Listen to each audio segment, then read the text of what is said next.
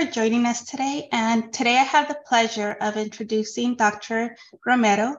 Dr. Romero dropped out of high school and was passionate about cars and lowriders.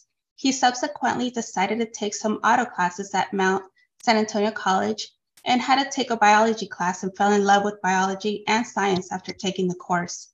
After completing his AS in biology and engineering, he transferred to UC Irvine and completed his bachelor's degree in biological sciences. He attended medical school at the University of California, Davis, and completed his residency and chief resident in general surgery at Santa Barbara Cottage Hospital. Following his residency, Dr. Romero completed a fellowship at LA County USC in trauma and surgical critical care. He is certified through the American Board of Surgery and General Surgery and Surgical Critical Care. Dr. Romero is currently the Director and Chair of Surgery um, Services for Ventura County Medical Center and General Surgery Residency Program Director at Community Memorial Hospital. Dr. Romero still loves to work on cars and is passionate about taking care of his community, teaching and training the next generation of surgeons. Welcome, Dr. Romero. Thank you. Thank you for your time. I want to congratulate you for your pre-med CC organization. I think it's a fantastic organization that really is proactive on things. Um, today, I just wanted to actually open up the floor for anyone that has a question and really actually have this as a uh, dialogue and a conversation for anyone that has any questions for me on the journey that I've had, uh, being a physician, uh, being a uh, surgeon, being a trauma surgeon and perhaps um, a surgical educator. So I'll open the floor up for any questions that any may anybody may have.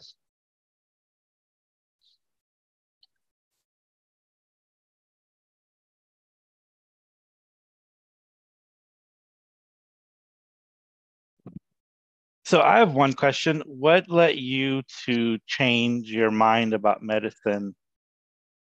Um why why did you why did you decide to go into medicine while you were at community college or is that where your trajectory was? Right. So in community college I w- really came into community college more to get a fundamental general education. And i think a community college is a fantastic way to do that um, as uh, as veronica was saying i did not um, graduate from high school and i dropped out and so in the interim, I did various jobs from cleaning carpets to painting houses to working on cars um, and uh, to bartending and to uh, waiting tables. And during that uh, uh, time when I was waiting tables, I was talking to a, a uh, couple about just life, and they mentioned about stocks and bonds and bear and bull markets and I was a hustler and I just wanted to make sure what I what was that all about. So I asked my buddy who was a bartender, Scott, Scott Newman, still I still remember his name. I said, "What's a bear and bull market?" And he looks at me and goes, "Dude, you're stupid." And I said, "You're right. I don't know what's going on with life with bear and bull market. I should know that kind of stuff." So I signed up for junior college thereafter just to get a fundamental education on the uh, current events. And uh, you know i started taking more classes more classes. I took some auto body classes. I took some air conditioning classes basic science. And then i went into i was curious about biology. And i started my prerequisites for the nursing program um, which was really fun. I really liked math and i liked biology. And i had a teacher in my general chemistry class which I did really well on. And he just said, What do you want to do when you get, you know, done here? I said, I want to, you know, maybe do some nursing. And he goes, Maybe you should think about uh, giving orders instead of taking orders. And I'm like, Ooh, I like that. And so he directed me towards pre med. And I started taking pre med courses. And I went to uh, transfer to UC uh, Irvine um, and got my biology degree there and also did some research as a Howard Hughes uh, fellow. Um, and there was a lot of opportunities, a lot of people that really took a chance on me and uh, was uh, uh was very exciting. I was just really curious. And that's my one of my my pearls, if you will, from this talk that we're going to have is do something that you like. Because if you don't like it, you're not going to be really good at it. If you like it, stick with it. And it could be anything. It could be art, music, uh, uh, politics, philosophy, uh, contemporary uh, architecture, whatever the case may be. But follow your heart, and and that'll get you where you need to go. And it's not about the end results; it's really about the journey. And have fun doing it is really the important things about college. College was really developed to really learn about life, to learn about yourself as well too. And uh, that's what how my journey started with the junior college and uh, uh, college thereafter. I hope that answered your questions. Dr. Romero, other than your um, professor um, suggesting it, um, what actually led you to decide like why medicine? Right. Um, I like helping people and I like putting puzzles together, including cars. Cars are just big puzzles. And so I went from body works to offender to body work. I'm a trauma surgeon, so if there's a gunshot wound or or a car crash, I put stuff back together or stop the bleeding. And it really isn't that much different. And so I just put together what I really like to do, which is puzzles, because I also do ICU stuff. I'm an intensivist, surgical intensivist and and that's my approach it's pragmatic and uh, um, um, i like putting things together and i like solving puzzles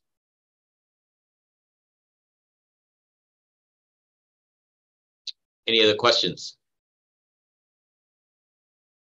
another question was who are some of your mentors when transferring from community college to university yeah a great question um, there was a counselor, I believe his name is Mr. Green, who at first was trying to steer me towards air conditioning and welding and as a vocation, which, you know, would have been great. But the more I went to visit him, the more I really got uh, advice on pursuing my curiosity more than a, a, trade.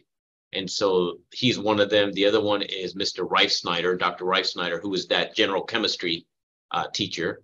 Um, I did karate with one of his son. I, am a martial. I did a lot of martial arts when I was growing up, and so I had that connection. And he was very supportive for me.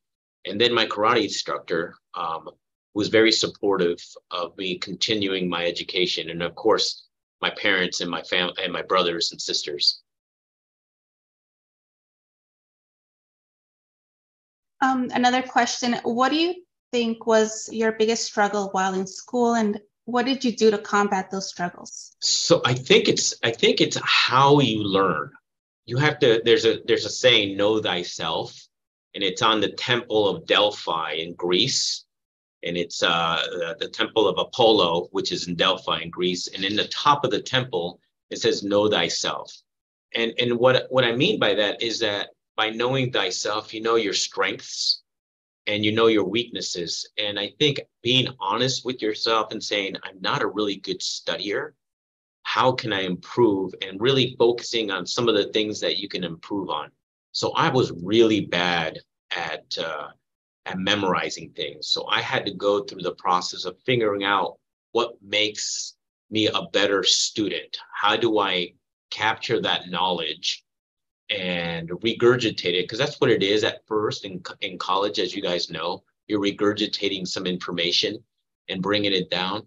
So i made a game out of it. So i put history behind it. I used mnemonics. I made little poems. I used flashcards i had this big chalkboard before the whiteboard i used to write shit down in this big thing so i could memorize it i would get up and look at it again before i went to work oh and and that that helped me out quite a bit. So my biggest struggle was to figure out how I learned.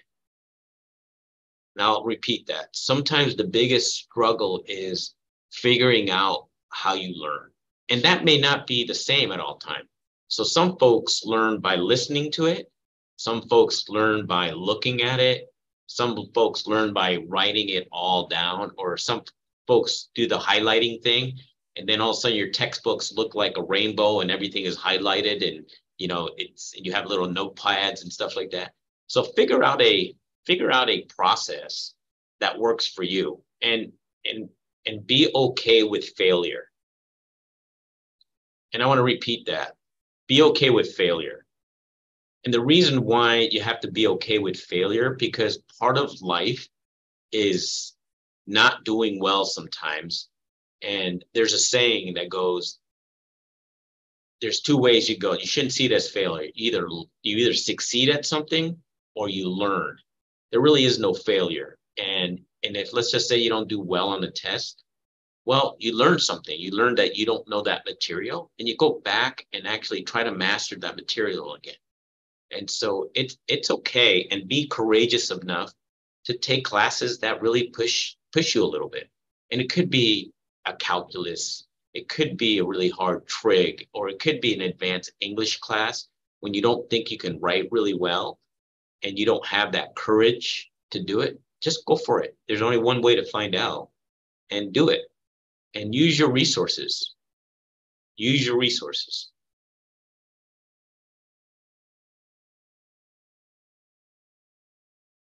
Uh, a couple people have asked, did you always know you wanted to do surgery or did you discover no. your specialty interest no. in med yeah, the surgery what came in really late in medical school, actually. I was going to be a family medicine doc. Uh, as a matter of fact, I had the whole thing figured out. I was going to work in a clinic. I had my residency worked out and stuff. And then there was a, there was a, I think I was a third year. Yeah, third year medical student at uh, University of California, Davis. And uh, she came in for um, a checkup and she had some abdominal pain and she looked really pale. And I did this test on her called a tilt test, and she had pain in her left shoulder. And I just learned about that. And that means that there's fluid in the abdomen or there's blood in the abdomen. And I did a pregnancy test on her, and she had an ectopic pregnancy where the baby's uh, in the in the uh, fallopian tubes and it ruptures. And then I called the surgeon who was on call, which was right next to the hospital the clinic, which was right next to the hospital. He was a general surgeon, and we took her. I I helped, took her to the operating room, and you know fixed the bleeding, and uh, she did well. And I just said, man, this is good. So that was it. That was the aha moment, if you will, where I just said, this is where I belong. So you don't have to know before medical school what you want to. Be. Oh no, and I yeah, and I, I I think usually you should go in with the medical school with an open mind because you're going to learn a bunch of stuff. You're going to say, oh, I like that shit right there. That's me. And then a week later, you're like, that's not me. This is me. And you're going to actually have a lot of changes. And it's, and that's okay though. Um, it's going to be like a, you know, when you're really hungry and you go like to buffet and stuff and you're just hungrier and you just, you just go for it and your plate's really full and then you're, you're thinking I didn't really like those ribs to begin with. It's kind of like that in medical school. Um, we were also wondering, are you the only one in your family in medicine? Yeah. Yeah. So I'm the family doc. So anytime that if somebody has a rash, I get these funky ass pictures on my phone. I'm like, yeah, that's that's not what I do. go go go see your doctor. That's my yes. So yeah, right now I am. My brother still owns a body shop in Costa Mesa, and my sister helps run a uh, a uh, a uh, marijuana dispensary actually with my with my nephew in Santa Ana. And my older brother is a machinist. He and he looks almost exactly like George Lopez. but but if they get in a car accident, they should call you, right? Yes, they do. Yes, they will. Any other questions? Another person was asking about any extracurricular activities you did uh, during your undergrad. Yeah, as an undergrad, my extracurricular activity was go get my ass to work and get a paycheck so I can pay for college. So I know there's a lot of emphasis on that, but I think for most of us here on this on this on this podcast that we have to work for a living and so I worked you know, pretty much full time when I went to college and stuff. So my extracurricular activity was paying the bills. Kind of piggy pigging off of that question, um, since you had to work, uh, was it hard um, for you during your pre med track? So the answer to that is I don't know because that was it. That I didn't have anything to compare it to. You know what I mean? So that was that was just the norm for me. Um, and and again, I had a lot of support from my my brothers and my parents and all that stuff, moral support. Um, and so it's that was just the norm um, that you had to work and you had to get good grades and uh, you just had to do time management and there's sacrifices. And so instead of going to all the quinceañeras and going out with the homies and relaxing on sunday afternoon drinking beers and stuff you just say maybe one beer and then i got to go study. Or i'm not going to go to that dance or you know i can't i can't make it tonight or i won't be able to go to that barbecue. And those are the those are the the things the sacrifices you make to to get over you know the the uh, that hump if you will yeah and it's i mean it's okay. Some folks don't have that luxury. They have to work to pay the food in their stomach and roof over their head and yeah. pay for books and so that's the reality for a lot of folks so. Yeah and and I, and that was the reality for me because sometimes you know i had to work on the weekends. I had to wait tables or where you know clean some carpet or detail a car or something. But it but the the the, the reality is that that is a norm for all, uh, most of us and uh, there are some resources out there like tutors and uh, sharing notes with your with your classmates and sharing books that was a big thing for us when i was in junior college is i didn't buy new books i bought used books because the new books were like twice as much um, I think it's a little different now because everything's online, but there's there's ways to just kind of navigate the system where it doesn't have to hurt you so much to go to college. Now, most of you go to the California colleges or this na- uh, this nationwide. Yeah, we have some people from Illinois, Louisiana, yeah, uh, Phil, uh, Pennsylvania. So, but but I would say probably seventy five percent are from California.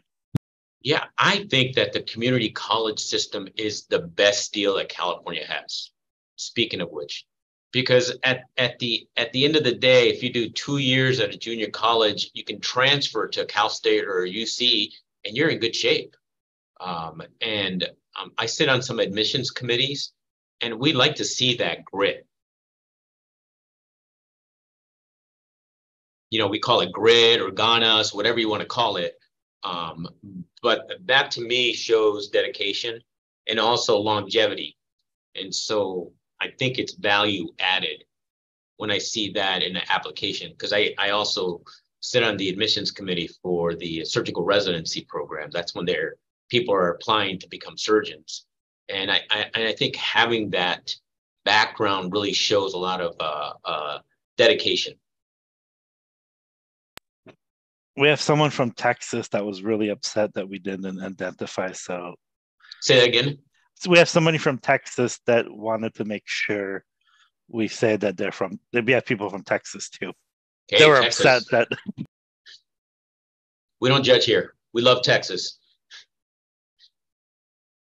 Uh, another person was asking what type of work uh, did you do during undergrad? And I think another important thing to highlight would be do um, admissions committees value activities that are paid versus unpaid? Um, Great question. Equally? That's a fantastic question. So it really depends on where you're applying to. Some schools really put an emphasis on extracurricular activity that are non-paid um, so you have to do your research on what school you really want to go to. What's the philosophy of the school, and if if it aligns with your philosophy. And That's really really important. That's research that you have to do before that. Um, what I did in the, as an undergraduate is that I was uh, a waiter. Uh, I attended bar, uh, worked at a body shop, uh, painted houses, cleaned carpets. What else did I do? I, whatever it took uh, I was working for construction. I was a gopher. You guys know what a gopher is? Explain to that. It's uh, you you go for that and you go for this when someone tells you what to do. So basically, you're telling your your people are telling you what to do all day long. So you're just a gopher guy. Go for a coffee. Go for that hammer. Go for that lumber. So I was a gopher guy for for a long time for a construction site as well and and and and the the bottom line is you just got to do whatever it takes to pay the bills And the gopher cleans up at the end of the day while everybody. Oh yeah, home. you're the last one. You're the last guy. That's right. And another question um, that came up: How was the application process for you, and any tips for and for those that are applying right now? Yeah, my my my my most important tip is be yourself. Be yourself because no one else is you, and everybody else is taken. So really, really just put on paper who you are. And sometimes that's really hard because there's something called the imposter syndrome. I don't know if you guys talk about imposter syndrome when you start moving into a professionalism. And what I say about imposter syndrome is that you just got to be yourself.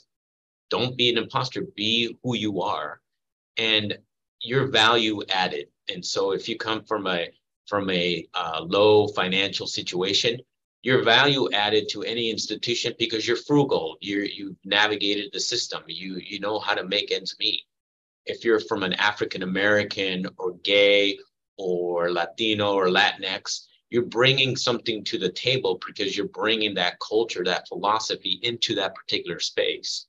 So what my my advice is that you you you bring it as a value added to any institution or space that you're applying to whether it be college or a graduate level or even a workspace. If you're going after a job that you really want, you have to say what you're bringing to the table, what your value is to the table. Just to make a plug, on April 21st, we're going to have three deans of admission who are actually going to walk you through the application and how they view the application. Great. They'll have some samples. So um, I know when Dr. Romero applied to medical school, I'm sure the application system is very different now. Um, but it's still the same thing, but it just looks different. But it's still the same process. You need to get the letters and all that good stuff. Um, I have this question. Um, I'm pretty sure when you were going through your training, uh, you were probably the only Latino in the room. And how did you address that and deal that deal with that when you were going through? That nobody yeah. else looked like you?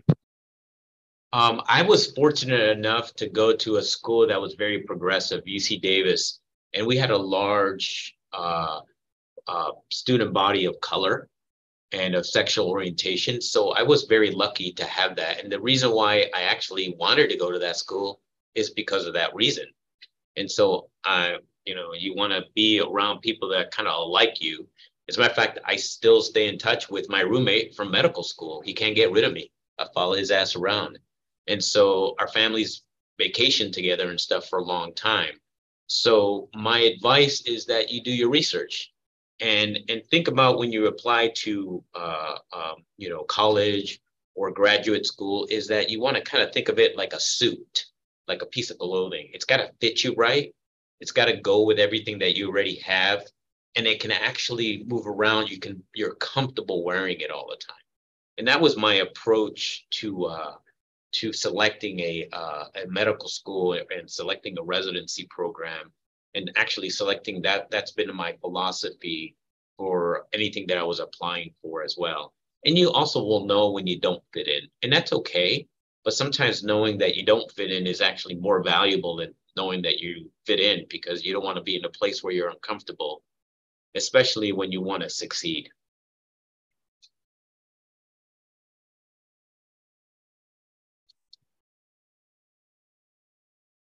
Another question is what does a typical day uh, look like for you? Depends if I'm on call. So if I'm on call, I have, we used to have pagers. Now we just have cell phones that they actually send so it starts early in the morning around 6:30 where I look up all the labs for the patients that are on the service which is patients that are in-house. I'm a I'm a hospital, I'm a surgeon that actually does a lot of hospital work. And so we typically have maybe about 25 to 30 patients in-house. And I look at all the labs, then I go into the hospital and I sit with the residents because we're I'm at a training program. And then we talk about all the patients about what we're going to do for those patients today and then from there, I go to the ICU and round on the patients that are really sick on the ventilators and need drips and stuff. And then at that point, I go do some surgeries if there's surgeries ready to be done. and I'm in the hospital just in case anything comes through uh, through the emergency from a uh, small bowel obstruction, which means the small bowel is torsed or the large, to appendicitis, to gallbladders, to gunshot wounds to the chest, to really bad car uh, collisions that we have to take spl- uh, spleens out, uh, to little ladies that fall down and bump their heads and get head bleeds. I'm all I'm ready for that, and that goes on from like six in the morning till around five p.m. And then someone else takes over. One of my partners will take over, and, and then I do that same thing again the next day. Another question that came up: um, What did you wish you knew before you went to medical school? Was there like say, an shock? Say that again. Oh, what did you wish that you knew before you went to medical school? Oh, I thought I was going to be an engineer or an architect. Kind of like I kind of like the sciences for a while. Uh, when I was little, little, I was going I wanted to be an astronaut, but then they said that you have to have good uh good eyesight, and I would I wore some thick ass glasses, so I said that was out right off the bat. So uh, yeah, probably engineer and architect when I was in junior college.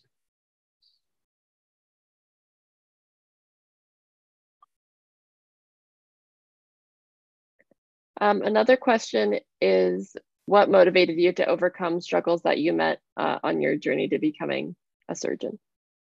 Yeah, I, I think, and this sounds uh, kind of flippant, but I don't like to to I don't like to lose. I like to win, and so I just was dedicated to just do the best I can. And I was really frustrated when I first started junior college because I didn't have the right reading level for some of the textbooks that I was in. And so I would really get frustrated because I would read paragraphs over and over again. I would just say, what are they trying to say here? And I just started reading the newspaper and Time Magazine and Newsweek to get my reading comprehension better. And uh, and so that was the most frustrating part. So again, it goes back to even back then that I was trying to know myself, you know, know thyself. And knowing what I was not good at was very helpful to get better at and being honest with myself. You know what I mean? Not trying to hide it. Like I'm a, I'm a shitty, I'm a shitty reader. I got to read more. Another and that is and that is one of the best ways you could improve your MCAT and your test taking score is becoming a better reader, uh, a more proficient reader, being able to read fast and comprehend. It's not just fast, but you got to understand what you're reading or you're reading it three times. Um, and there's now there's a lot of online reading um, tutorials you can do, and most of them are free. So, um, this next question is actually a really good one. Um, what do you recommend to women who want to go into surgery since going into surgery is still highly dominated by men? Yeah, we're changing the script here at Ventura County Medical Center. At, uh, so our surgical residency program is oh, it's about 67% women now. So here's what I say to that. Become a surgeon and lead the pack for, for females on this call. Um, the, the, the philosophy is changing drastically. As a matter of fact, this year, our women candidates are much stronger than our male candidates not by a little, by by a lot. So I think you're seeing a big change in that particular spec, particularly in general surgery and other discipline like orthopedic surgery and cardiothoracic surgery. It's still a little bit behind, but I, I think those those disciplines are also catching up as well. But I, I I've noticed a dramatic difference on the uh, general surgeon candidates that are female now. Believe in yourself. That's what I say. And this is from a dad that have three daughters. So you're girl dad. No, most of our leadership is, is women. So I could say that um, you know, there's that comment that, you know, certain things get things done. Um, women usually do get things done better than men in in many things. But that's just my personal opinion.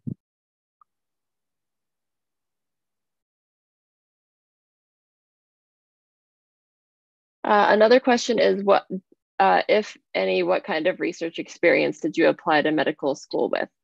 Yeah, I was fortunate enough to do uh, research at UC Irvine, and I got together with uh, actually there was a fantastic mentor.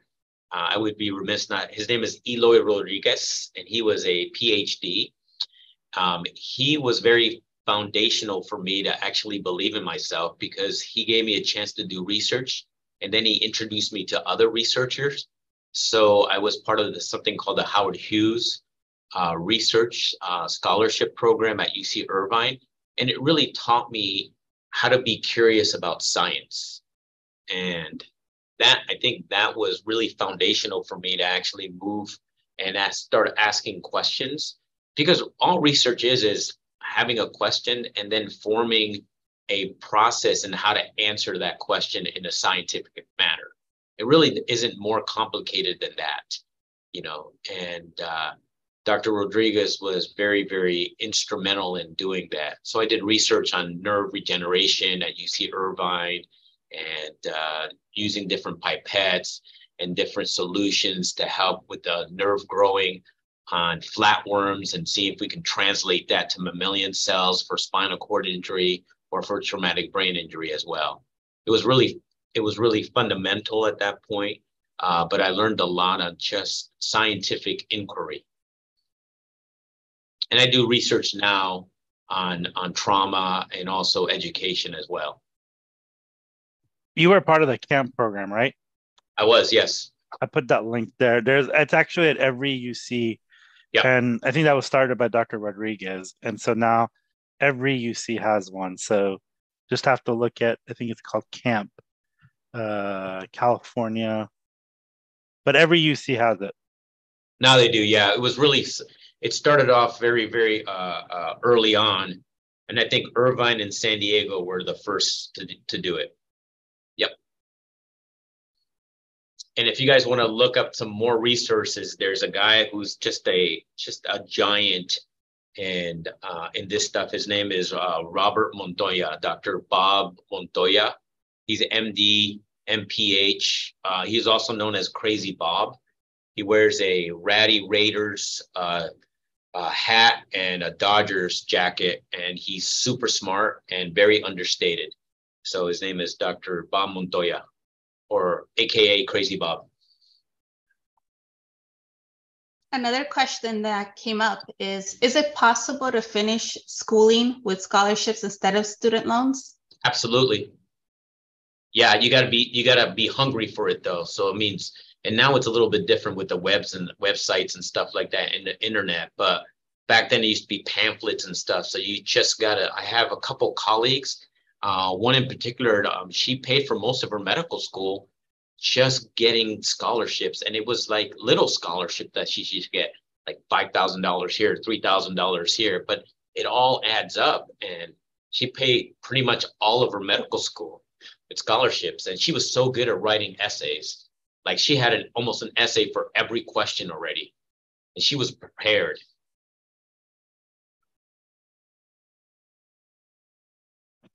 Um, question. Um, so this is a question I have. Um, so you took out loans and all of these things. Did you ever struggle paying it back? Have you been homeless, not being able to afford things?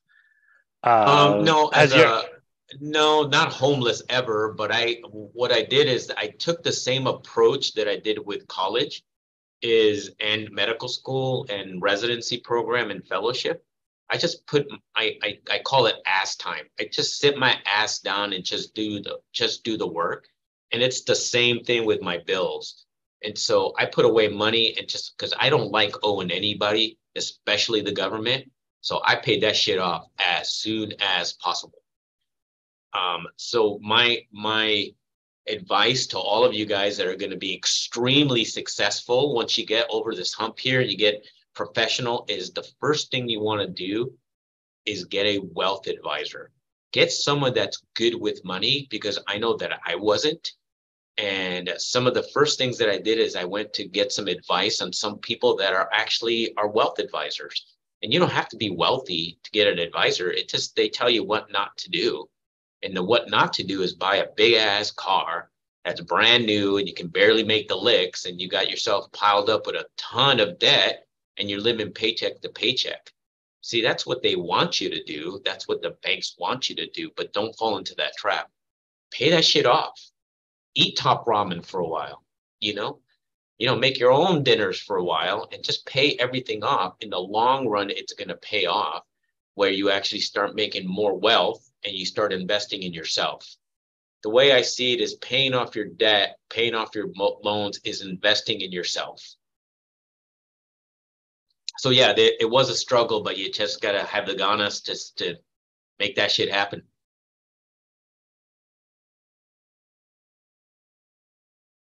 Um, another question that came up was, how old is too old to go to medical school? There is no age if you have the passion for it, you should do it. I think we had a like I think we had a student in our class that was almost 50 back then. Back then it was unheard of being 50, but there is no age difference. There is no age limit at all. If you have the ganas and you have the the passion for it, go for it. Um, we had we had a speaker last week who started med school at 47. Uh, we had another one who is 50 who started. So yeah, and um, I'm sorry, Dr. Romero, would that still be the case for surgery though? Like abs- well, absolutely. But surgery, the thing about surgery, it's also you need stamina and you're gonna stay up a lot. And so, but I can tell you right now, I mean, some of my professors when I was going through residency program, they were viejos and they had more energy than I did. And I was taking the elevators and those guys were taking the stairs. I'm like, oh my God, this what this guy's on crack? What's going on here, man? So it's really about health. And, and just remember, health is wealth. And I'm going to say that again health is wealth. You know, take care of yourself and take care of your bodies. And you guys are in it for a long run.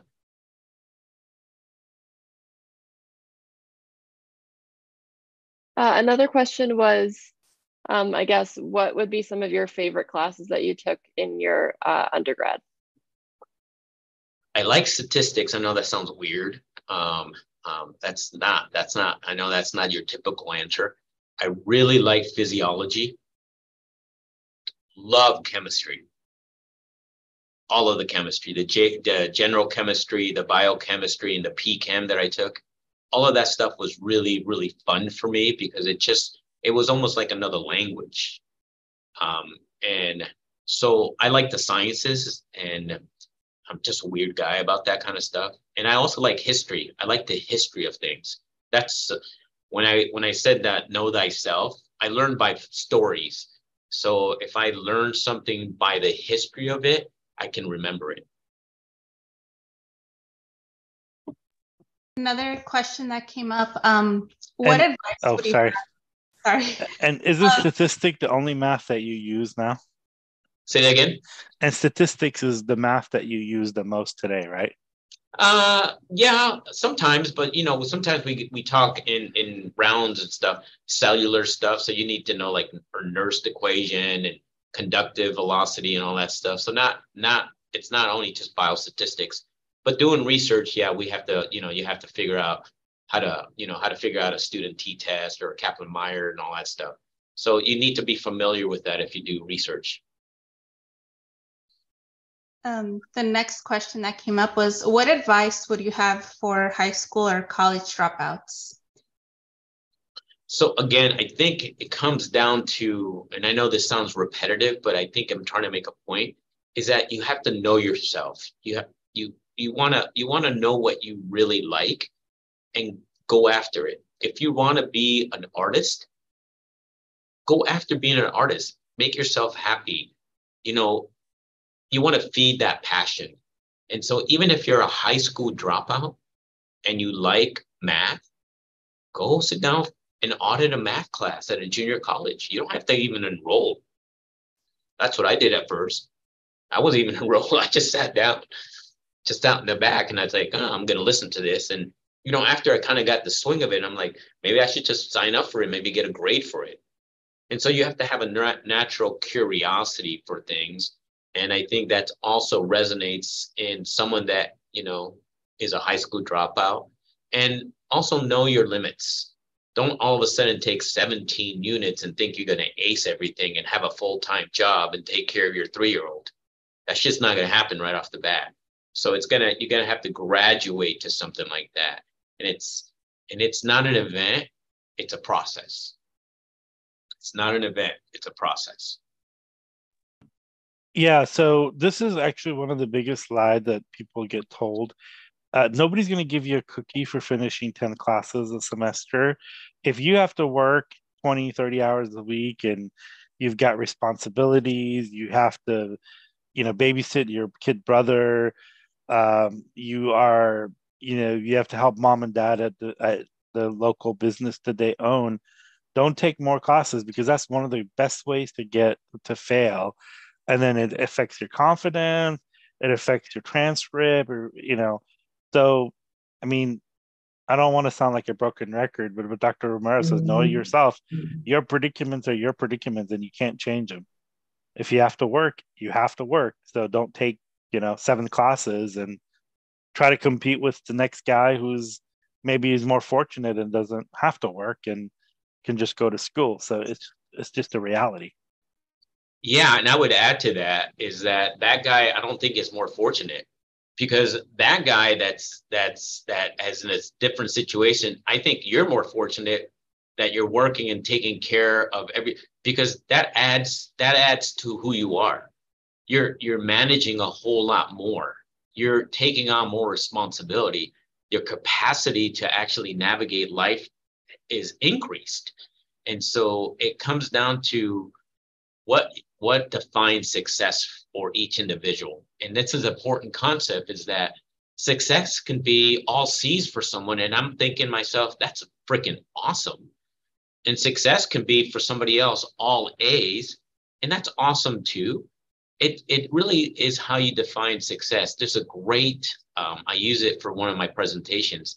There's a there's a little girl that's crying and she's on the first place you know, on those little things where they have the little trophy things. And she's in first place and she's crying. And then there's another little girl who's in third place, just going like this. And she's happy. And I always like that because it's your reference point. You know what I mean? She's crying and she's getting first place, but homegirl next to her who's got third place is so happy. And it really kind of resonated with me. Is is what you what you define success to be and and you have to know yourself enough to not set yourself up for failure. What you want to do is you want to set yourself up for success. And if that means taking only four units for a semester or a quarter whatever the case it is take your four units and be happy. Do your shit for that semester or quarter and then be successful and then move on to take an eight then eventually 12 and then get your AS, or whatever the case may be, transfer to a college and start your path, your other chapter. So it's not a race. It's definitely not a race. And I know folks who've been to junior college and to college for six years, and they were med students with me. And I asked them what what took so long. They said because uh, I was enjoying the ride. I'm like, that's cool. That's that's fantastic. You know, so I agree that you should just do what you think you can do and not you set yourself up for failure. Because then you have to explain a transcript to somebody. You don't want to do that.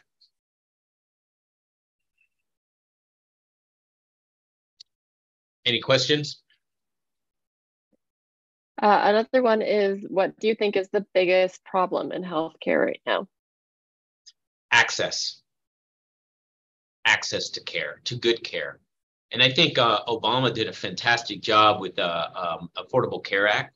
He gave an opportunity to to level the playing field to actually just get fundamental health care, diabetes control, hypertension control, prenatal prenatal care, uh, women's health, mammograms, colonoscopies. And one thing that I think that we still struggle with in this country and it's taboo is mental health I think we should see mental health as diabetes. It's it's a disease process, and we should really focus on it more than we have been. You know, everybody focuses on the sexy things, the cardiac issues or the trauma and stuff. But I think mental health is something that really is needs to have more attention, particularly in California and in Texas.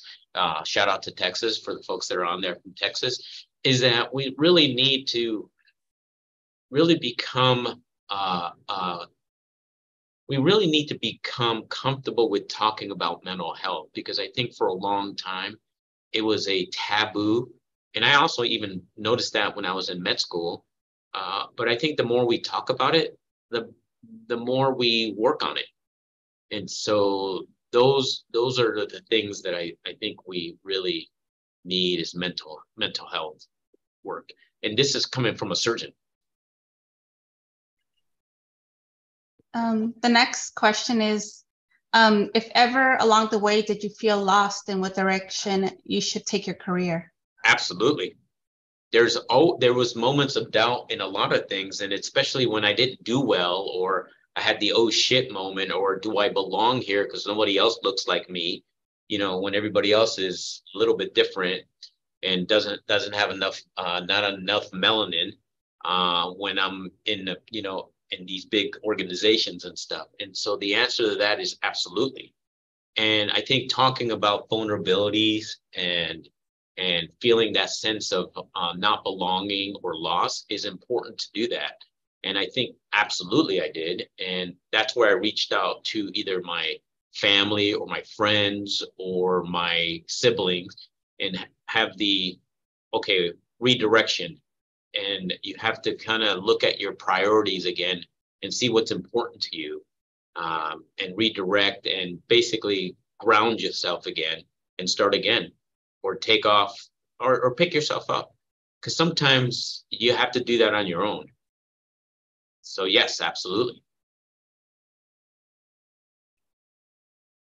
Uh, going off the mental health point, do you think there's enough training for identifying mental health issues no. uh, for medical students? No. We do a poor job, very poor job. Uh, so, yeah, there is a lot to be said about that. I, uh, I think it starts even before medical school. I think it should actually be talked about in colleges and in high school that it's okay to ask for help. It's okay to feel that feeling of anxiousness or not belonging or depression or feeling of uh, of uh, not wanting to be exist. I think that's important to talk about because you'd be surprised how many folks have those feelings and they think that there's they're the only ones that feel that way, and in reality, they're we all do that. All feel that way. So I think the conversation starts with folks even before medical school. But I think medical school has a long way to go with addressing the problem. Other than knowing thyself, um, how did you build your confidence? Success. There's a saying that goes, you can't argue with success. You can talk shit all you want, but if you continue to be successful and just put the time in and do the right thing for the right people at the right time, that's success. And so you have a certain ethos uh, that drives you. And, uh, you know, a lot of folks call it, you know, foundation. Um, and so that's what you got to find is you got to find your compass and you got to just stick with it. And sometimes it, it's hard because the, uh, the hard thing the the right thing is usually the hard thing to do.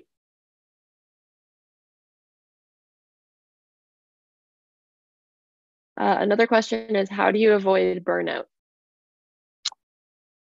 I don't know. If you know, let me know because it's it's a it's a big it's a big issue. I think burnout, and again, it goes back to know thyself. When, like this morning, as a matter of fact, I was in the morning meeting, and one of my colleagues said, Man, you're grumpy today. I'm like, Yeah, you know what? I am kind of grumpy. I said, I'm going to take a time out. So I, I didn't go to some of my meetings that I was supposed to go to today because I just had to get a time out, man. I just need, I don't need to t- listen to another administrator tell me what not to do and what to do. So sometimes just taking a back step and just relaxing and just, you know, yeah, I tell you what I did. I, I was looking at the internet for a 67 Camaro with a 396 a convertible that I, I kind of want right now and I'm trying to look for one. So I'll be honest, I did I kind of turned off work for a while and looked for that Camaro. If you guys know of anything, 67 convertible Camaro with a 396. kind of picking um, back off that question. Um, your job sounds intensive yet very important, but how do you take care of yourself, like self care tips? So I um I live in Ventura, so that's by the water. So I learned how to first I learned how to swim because I didn't even know how to swim for a while. I'm a city kid, and now I know how to surf, so I go surfing. Um, and uh, and I work on, as you know, work on cars. Uh, and so those are the two things I like to do, and I like just to turn off. Just I don't like to talk, sometimes think about medicine. So sometimes having that switch and turning it off is really important and it's a lot harder than you guys think, by the way.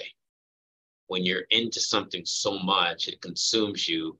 Learning how to turn off is really an art. And I would recommend, and whatever you do, to see if you can actually try to get that skill set because health is wealth.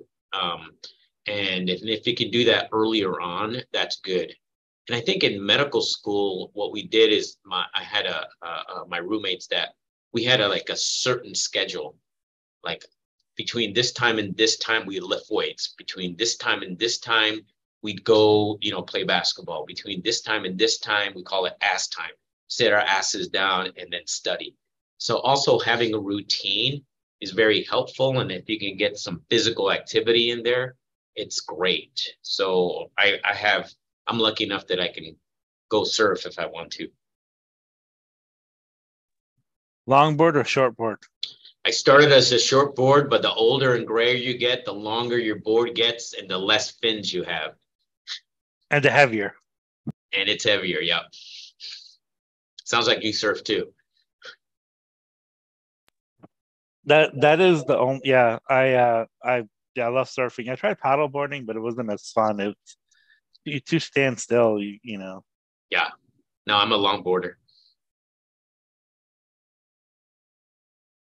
Uh, someone was asking, is it necessary to have all A's to get into medical school? No. Nope. That's a myth. So there's something called the holistic approach on candidates. And it really, it's that's what it is. It's just not a number. And what, what medical schools are now looking at is the whole candidate how does that candidate bring something to the table to, li- to deliver excellent, compassionate, culturally sensitive medical care? And you'd be surprised that just having really good grades is not the only formula. It's part of the formula. And I'm happy to report it's getting to be a smaller portion of the formula finally, because people are not going to ask you what you get in PChem or what you get in calculus or how'd you do in biochemistry. I don't give a shit about that. They want to know that you're nice, that you're competent, and that you're compassionate when they when they need help at their most vulnerable state, which is when they're sick. And so they're the medical schools are finally getting it. It took a while, but they're getting it. This question Yeah, we had the we had the executive vice president from University of California, the second person in command, and she um, got a D in organic chemistry, and she said that she just took the class again, but she said after that nobody asked me for med school, residency, or even the current job she has. Nobody asked her about that.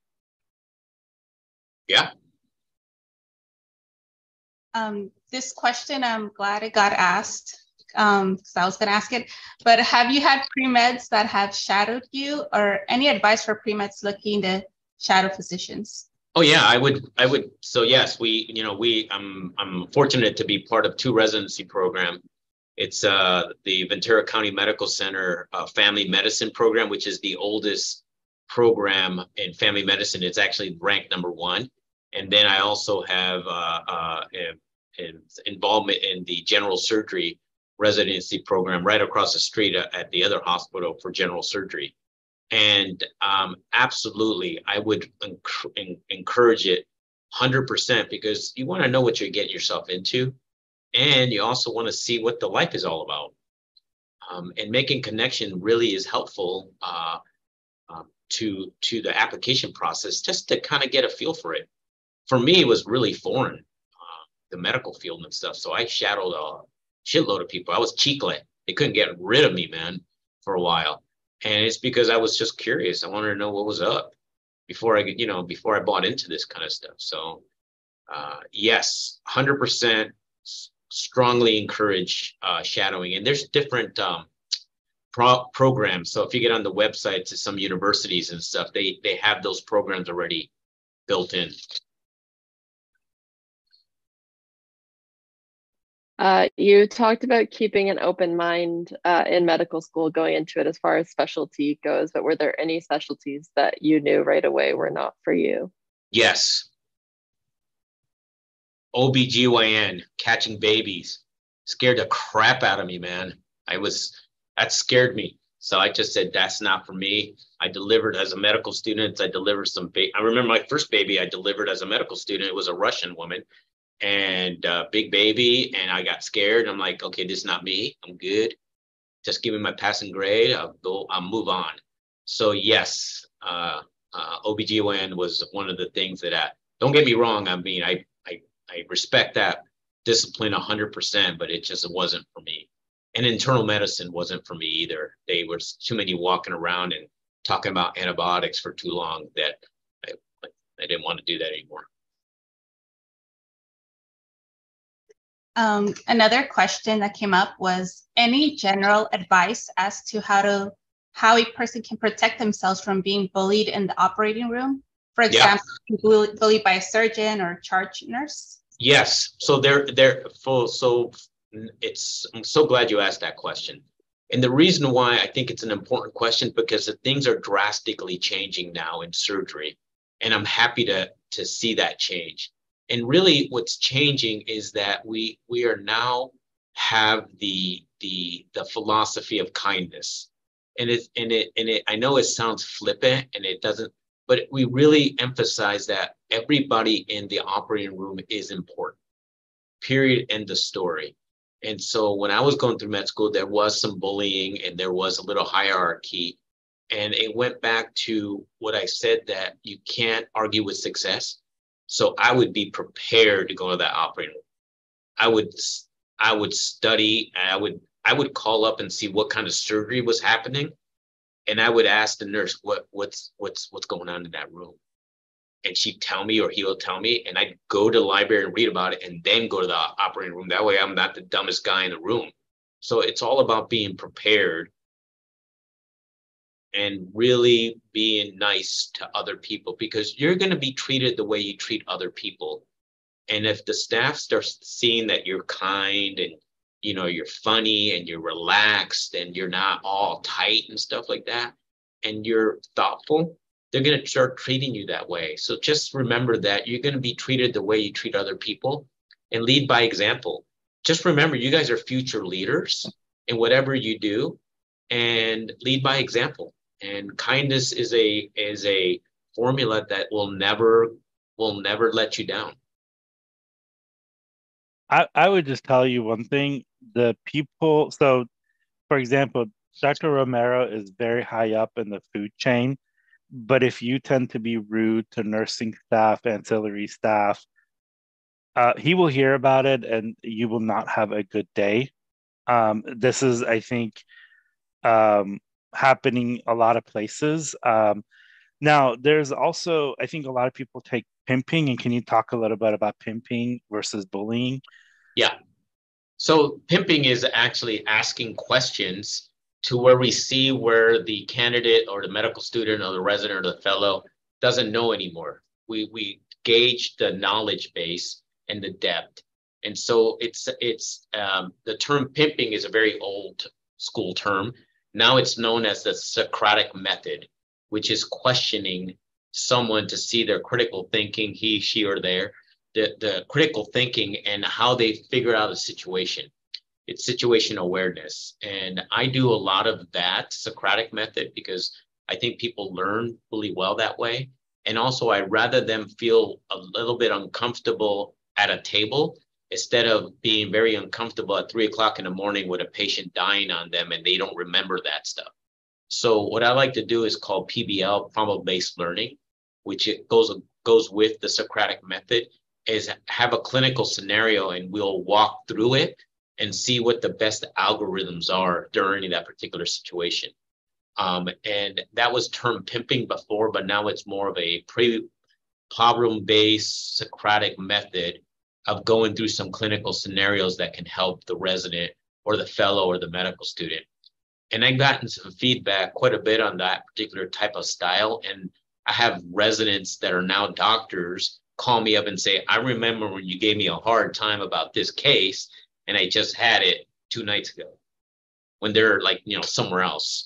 And and now they're, you know, full-blown doctors and stuff like that. So because I've been doing this for a little bit, for a minute here. I started in 2001 here in Ventura, uh, taking call. So I, I haven't left since. They haven't fired me yet, so still around.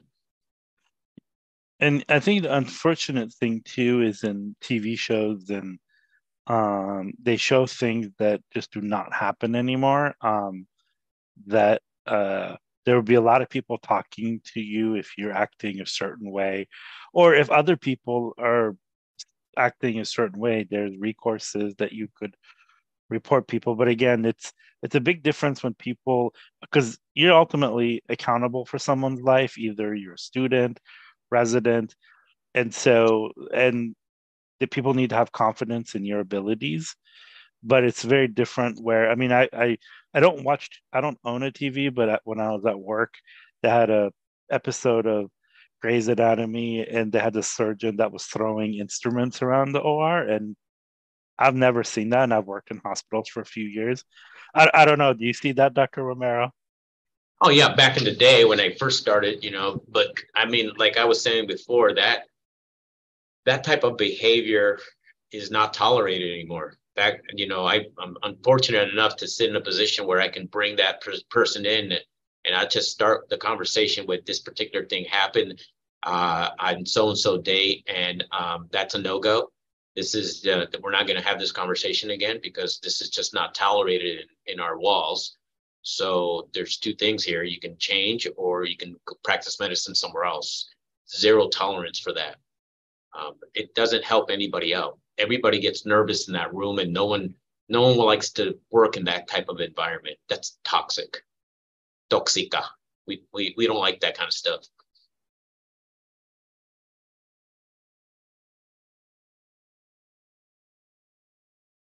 Another and question is when mm-hmm. discovering the right specialty for you, was it the worst parts of each job that swayed you or the best parts of each job? Probably the best job the best parts. Um, I like trauma when I was a resident. Uh, I like the ICU. I like really sick patients. I like complex problems.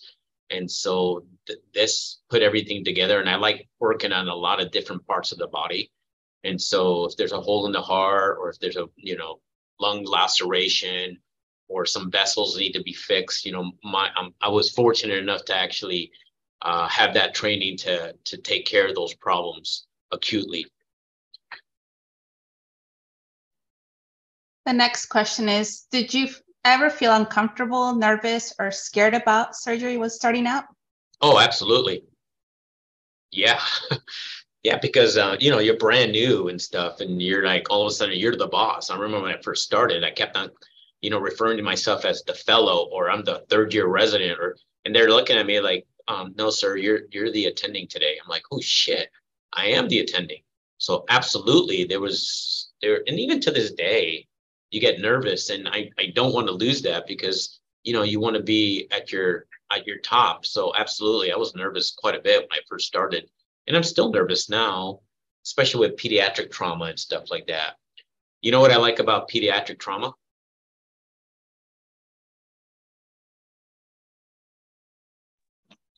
Nothing. I don't like anything about it. It scares the crap out of me. And I say that to my residents and stuff like that. And it's and it's okay to be honest about things too. So I'll I'll tell the residents.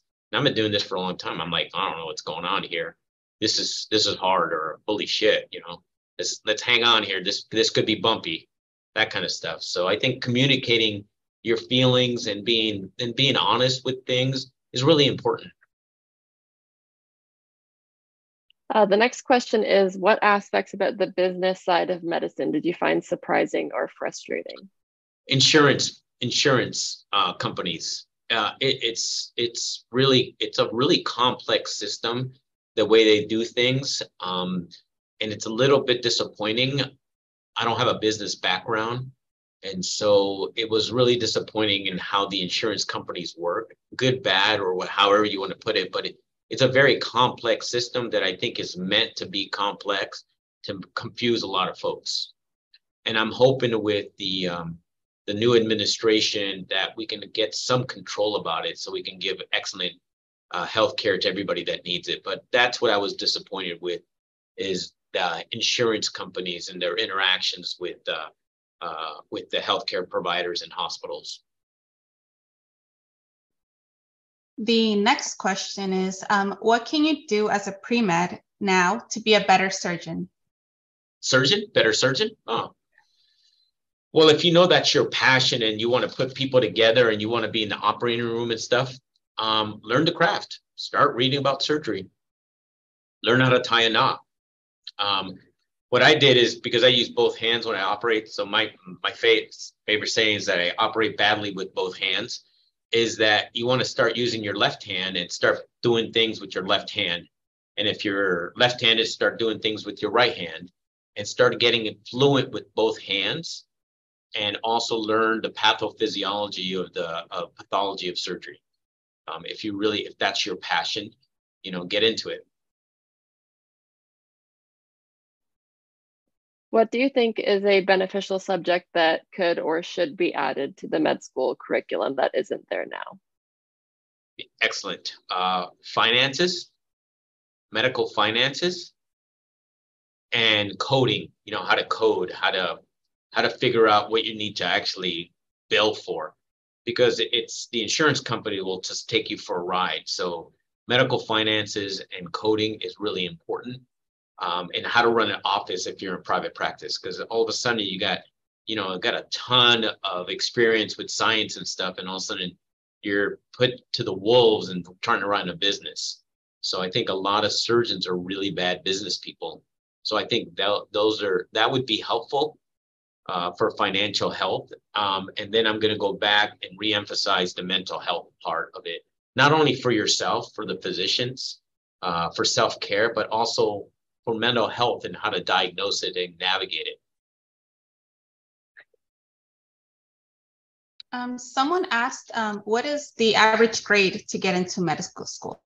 It really depends. So that's a that's a it really kind of depends on the medical school, um, and so you you have to do the research at that at that particular point. I know some medical students, medical schools that uh, uh, pick uh, residents or medical students that have a C plus average, but they have something in their applications that makes them special. They bring something to the table that the admissions committee says, oh shit, that's fantastic.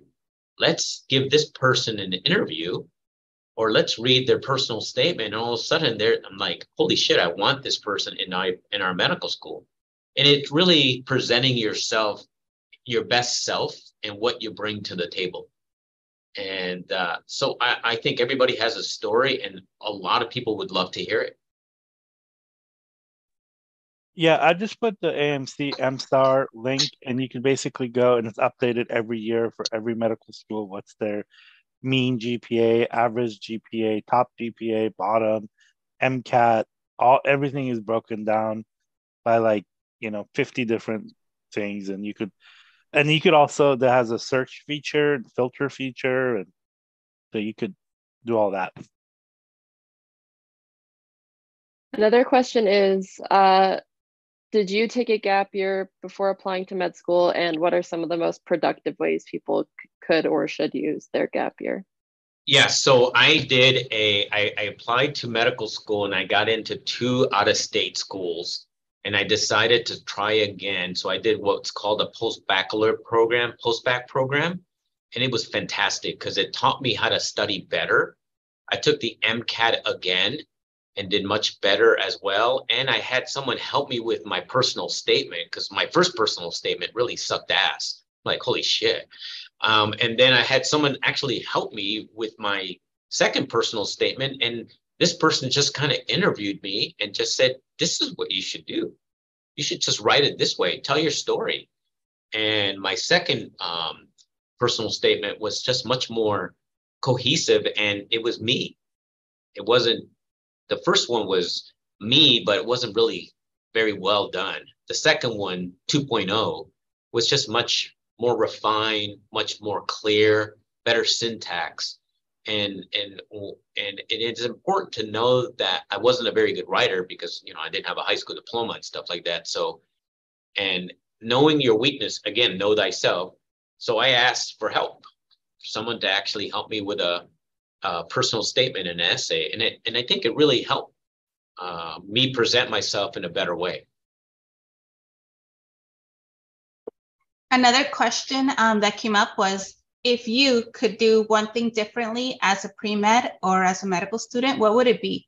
Not take so many courses right up front because I struggled and it was like it, it was it was hurtful. I mean, all of a sudden I'm like tired, drinking coffee, going to work, trying to get cramming in for. I'm like, this this sucks, man. I don't know. I didn't sign up for this shit, and so pacing myself was I should have done that better in the beginning, pacing myself. Another question is how much collaboration between different departments of medicine is there in managing a single case? It's managing what kind of case? Just a single patient. Like how so much collaboration? Really good organizations, really well, high performing organizations have what we call a multidisciplinary approach to patient care. And those are really high functioning places. So you have everybody involved in that particular care. Folks, um, other institutions that are not as good and have opportunity to improve will have maybe a single team or one person taking care of that person, that patient. And I think that's that's okay. But if you want a high functioning, you want a multidisciplinary approach on things, so the more the better because you're getting better care um, if if it's needed. You know, if it's a simple appendectomy and stuff like that, and the patient's going home the same the next day, you still need a team. You need a discharge planner. You need great nursing. You need a respiratory tech. You need an OR team. Yada yada yada. But for like real complex ICU patients, you, you need everybody on board, all hands on deck to give that patient excellent care. And there's no shame in the game of asking for help. As a matter of fact, I think the smart doctors are the ones that ask for help. Um, and question that came in was, if you went through med school over again, would you still choose the specialty you are in now? I think so. Actually, my one of my friends asked me that. They said, if you won the lottery, like right now to now to now, would you do the same thing? I said, hell yeah, I'll do the same thing, but with more of an attitude. So yeah, I would do exactly the same thing. I really had a, I was really fortunate and lucky that I had a fantastic time in medical school. I met some really good people. I met some wonderful physicians, wonderful mentors, uh, highs and lows, but I wouldn't, I wouldn't change anything different. Uh, another question is How has technology changed your field since you began practicing? I think there's, uh, it's, uh, information is readily available now very quickly, very, very quickly. And before you have to study or you have to index cards, or we used to have these books in our pockets um, that we can do recalls on in our in our in our coat pockets. Our coat would be just heavy with books and stuff like that like little books, manuals and stuff. Now these days it's it's all on your iPhone. I mean, you can look anything up there, but that also can give you misinformation as well. So it's it's very quick information that you is readily available. You just have to make sure you know your sources. I will say that artificial intelligence is going to be a game changer in medicine. Most people are scared of it. I think I I think it's a great thing. I embrace it. We just have to know how to use it correctly.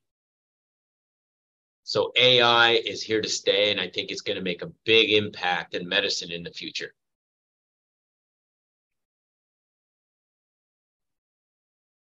Um, another question that came up was what what do you um, what is important to ask a surgery resident candidate? Say it again. I'm sorry, I couldn't hear you. Um, it's important to ask a surgery um, surgery resident candidate? Yeah, I, I, I think when we're looking for a candidate, we're looking for integrity. For someone that can say, I made a mistake and they own it. Or they can say, I don't know this and they own it. And I think uh, accountability and emotional intelligence is really important, not only for a surgical resident, but for anybody that's going into the medical field. I think honesty and just being, you know, transparent and we're going to all make mistakes and owning it and asking for help or being comfortable being vulnerable. Being comfortable in the vulnerability is also kind of an important thing these days because that's how you grow. Another question is what is something you wish the public understood more about the medical profession compared to what they just see in the media? Yeah, I think there's a there's uh, I think we need to do a better job about vicarious trauma, which means the trauma to the physician when he or she has a really bad case. To be empathetic to the people that are giving care, and that goes not only for physicians, but I mean to more importantly to nurses, respiratory techs, phlebotomists, anybody that's on the team, because they take that home with, and we need to be kind to those folks that are actually also giving care and they also feel the pain about losing somebody or about uh, having a bad outcome or a complications that those things happen. Um, and i think um, having the public understand that physicians also need empathy and uh, nurses need empathy and the whole healthcare team needs empathy as well we can do a better job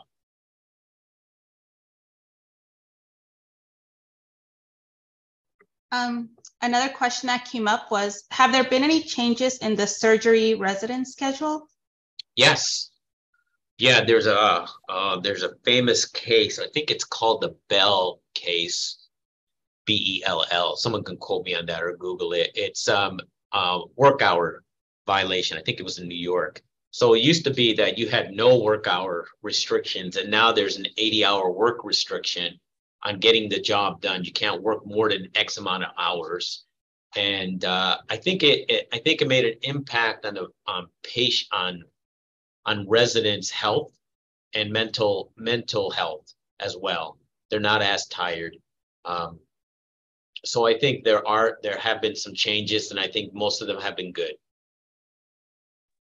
Yeah, it's called the Libby Zion case. The Zion case, right? Another question is what is an exciting goal or milestone you hope to achieve before your career is over? Oh, that's a great question. Was that yours, Trinity? Because that's a higher level question, by the way. Uh, yeah, like is there a particular policy you'd like to see implemented that you would do, or is there a particular thing you'd like the public to take more seriously that would make them potentially end up in your care less, or anything like that? You know, I got to tell you that being uh, the residency director was not on my bucket list. I kind of fell into it. My my goal was to actually uh, just be be uh, be part of developing a trauma center, which we did here in the county.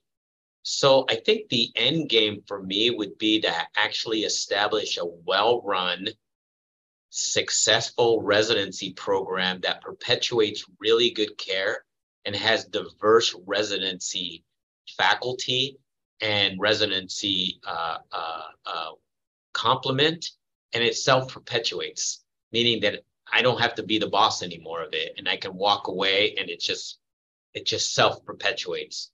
That would be my goal. In other words, have someone else do the shit, not me anymore. so somebody come and replace you. Yes. Please, someone, anybody, one of you guys, I would love to hire one of you guys when you guys are ready for it. And that's what I'm hoping that would happen.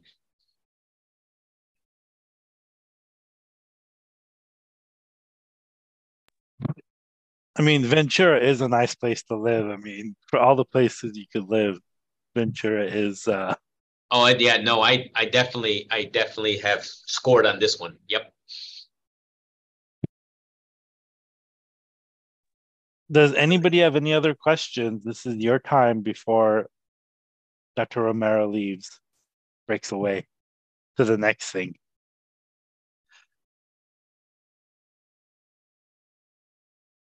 Um, I had one. Um, do you think it's too impersonal to ask for a letter of recommendation through an email? Like for old professor you haven't had for a while?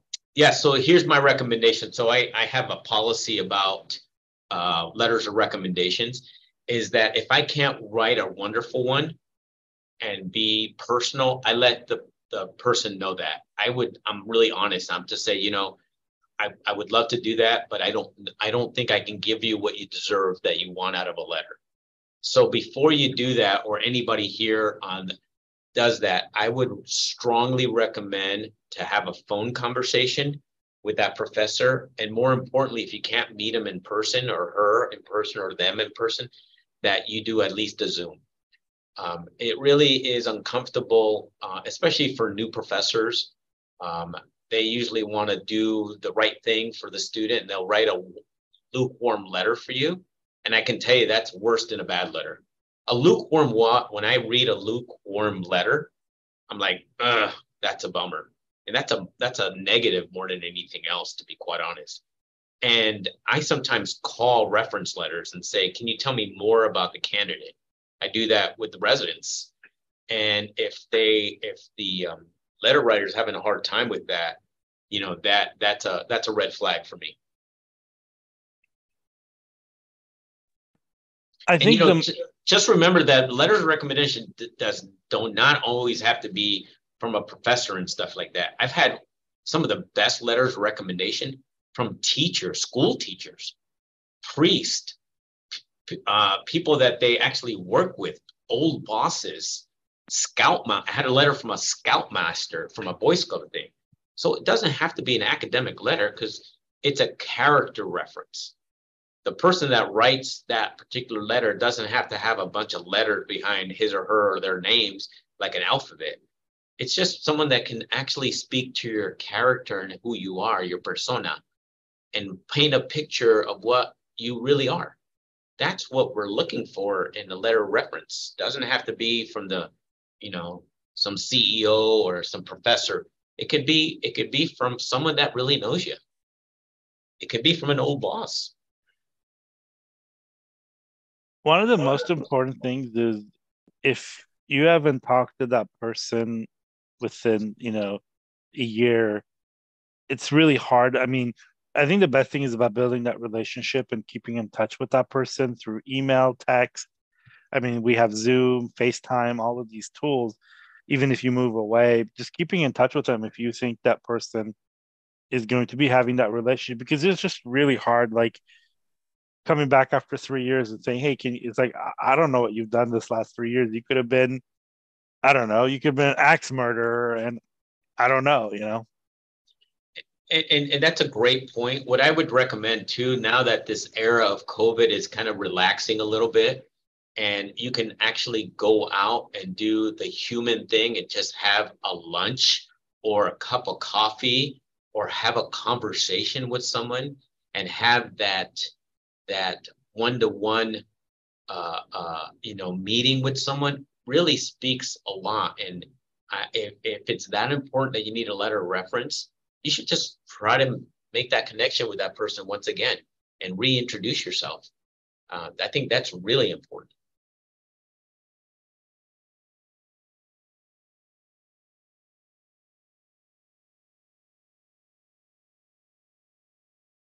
Um, another question I had was, are there any policies you wish you could implement that would lead to a more preventative approach to medicine that the public or the government is just not ready to hear yet? Great question, big, big question. Um, and so I think there is there's a need for it's called it's called population health and taking a population, you know, in my case, I have a affinity for the Latino population, and looking at that population as an entity. What do we need to help this population out? And then really doing what we call a gap analysis or a SWOT analysis on seeing what can be the most impactful um, at the best uh, pace. And I'll give you a for instance, like childhood obesity is one thing. Uh, uh, prenatal care is another thing. And looking at that and doing a needs assessment per population. I think that would be great to approach it that way. Right now, it's patient episodic. But if we take take a whole population and look at that and help them out in that particular more uh, not on a granular level, but more of on a global level, I think it would be very much impactful. We won't see a lot of the response very quickly, but I think overall it's going to make a great response for a healthier community.